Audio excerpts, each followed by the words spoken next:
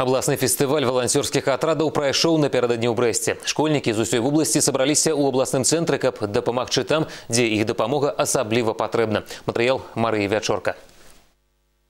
Месца збору брэская крэпасць. Наперадзе тры гадзіны працы і безліч добрых спраў. Кожная група валанцёраў атрымала стужачкі розных колераў, па якіх хлопцы і дзяўчаты вызначаць, куды яны накіруюцца. У праграме наведванне дзяцей сірот і ветэранаў, дапамога бяздомным жывёлам і шмат іншага.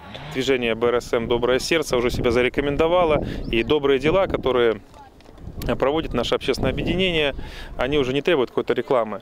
Э, ребята помогают ветеранам, э, благоустраивают э, воинские захоронения, работают с территориальными центрами социального обслуживания.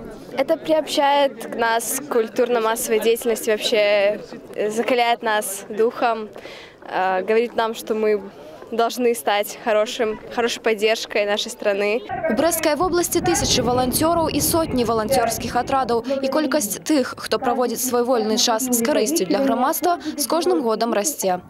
Марыя Вячорка, Александр Крывецкі, абласныя навіны, Брэст.